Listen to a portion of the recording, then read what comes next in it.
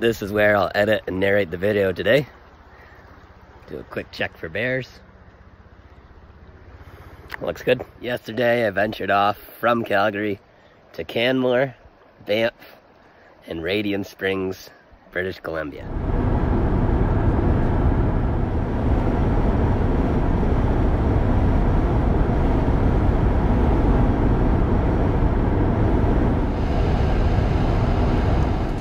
Downtown Canmore. Mountains in every direction.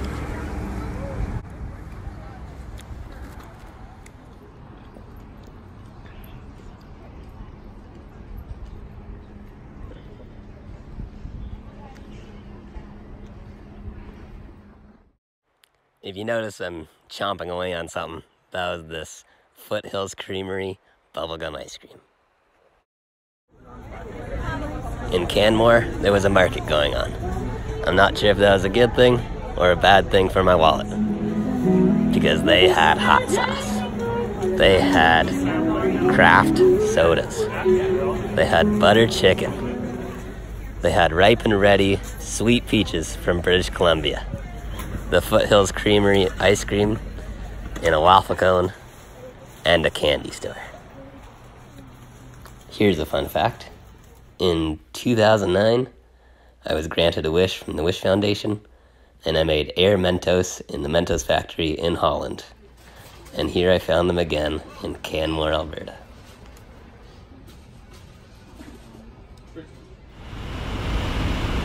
After checking out Canmore, which might be my favorite place on earth, I then ventured off to Banff.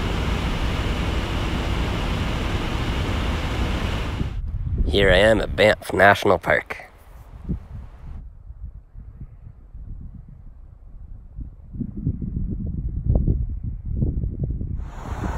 This is what the scene looks like in downtown Banff with all the touristy shops.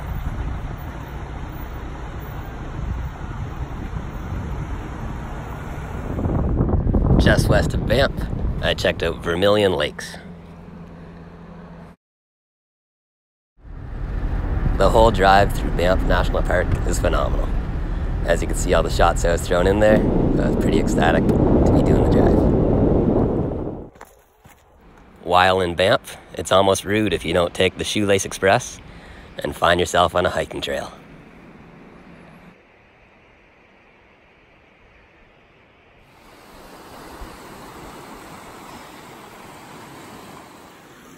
The rock formation here is pretty neat. You can just slice off a thin piece of rock and skip it on the water.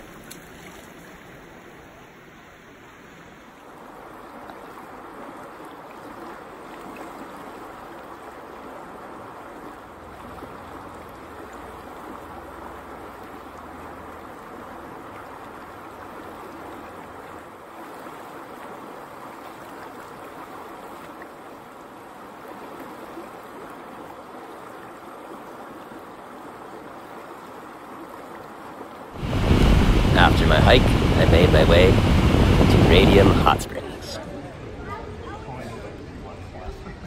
I'm now at the Radium Hot Springs pool in British Columbia.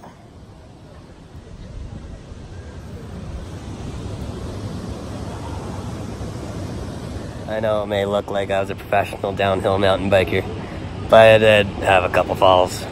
One fall, one crash. And I was pretty beat up this morning, but now I'm finally relaxing in a hot springs in British Columbia.